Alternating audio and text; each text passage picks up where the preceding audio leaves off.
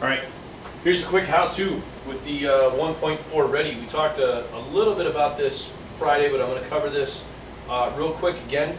Use the explicit function equations below to find the indicated values. Uh, remember the difference between n and f of n. All right, when we look at a table, n is like x, that's an input. f of n is like y, it's an output. So it's saying, hey, for f2, what's my output? Well, it's really simple. 6 times 2, replace the 2 with your x, plus 5. 6 times 2 is 12, plus 5 is equal to 17. On this one, what are we replacing x with? We're replacing it with negative 2 plus 5.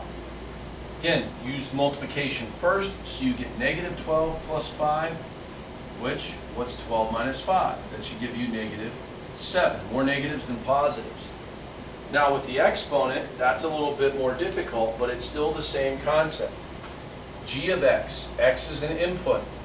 So 3 to the fourth power is equal to 3 times 3 times 3 times 3, group 9, 9, 9 times 9 is 81. Done. g of 0, well, the exponent is your x, g of 0. Anything to the 0 power is 1. Done. Now, on this example here, we got to flip-flop these, okay? This is actually time. Okay, uh, no, I take that back, I take that back. On your paper, in your book, your book, it's wrong. Okay, this is correct. Down here is time, so make that change. And over here is distance. All right, just like I have it here. That's horrible. Let me, let me rewrite that again.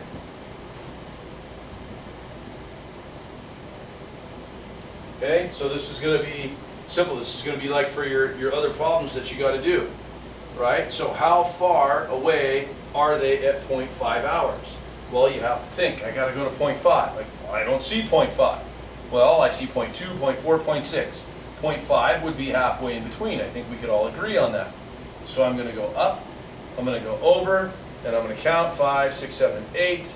So, at 0.5 hours, they, whoever they are, they are eight miles away. Make sure you answer complete sentences.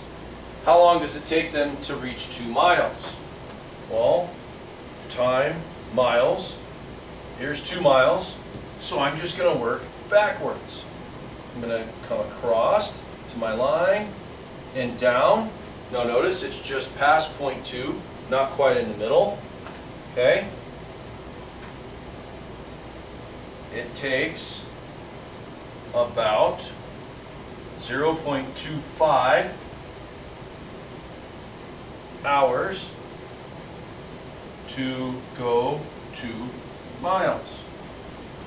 Which of the variables represents is represented by f of n? We kind of talked about that up here, what n and what f of n represent. f of n represents output. Which one is output? x y should be distance. Okay, again, pretty simple. Pause and re re rewind if you need to. Now for your for the go, you're going to need part of this as well. This is pretty simple. All right. What is the slope of each representation given? Well, the first representation is an equation. So in class, we talked about this. I just wrote it down here because we had more space. y equals mx plus b. Somebody said, well, this is like it. It's not like it. It is it y equals mx plus b. What, what is x and y? Well, here's an input. Here's an output. That's what x and y represent. M is your slope. b is your y-intercept. Okay? Refer back to this page as you need to. So what value is taking the place of m? m equals 8. Your slope is 8 in the first equation in 6. In 7, it's a little bit different because they give you two points. Well, think of it as a graph. If I had a graph and I had a line, I could find the slope of the line. How?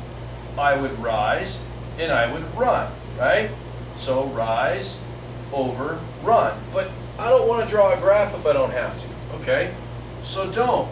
Change in y over change in x. Delta y over delta x. That's what the, the triangle means, delta y. How do I figure out what my change is? My change is your difference in x values, or y values in this case, because y is up and down.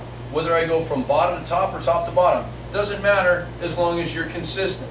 So I'm going to go from 11 to 5. What is minus 11 minus 5? Because it's the change. It's always different. Well, minus 11 minus 5 is minus 16. Now I got to do the change in my x's. So 6 minus, what is my other value? Minus 2. And I stress the second term in parentheses because you never see this. You never see 6 minus minus 2. You never see that. Never. So your second term goes in parentheses, which is 6 plus 2, which is 8. And what is negative 16 over positive 8? That gives you a negative, 8 goes into 16 twice. There's your slope.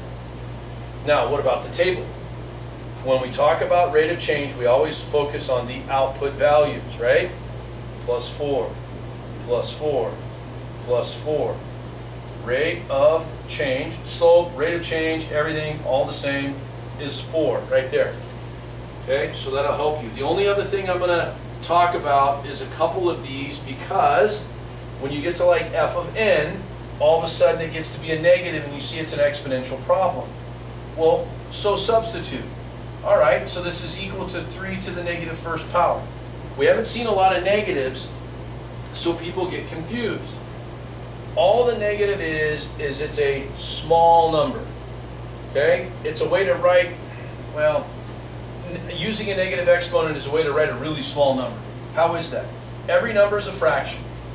In order to make the negative exponent positive, you invert the fraction. So this is equal to 1 over 3 to the first power, or 1 third. That's it. So there's another one over here. Try number 7. See how you do with that one. And bring your questions to me, all right? So try the, the graph here and answer the questions. Remember, do the best you can. Bring your questions to class if you need to. I expect them.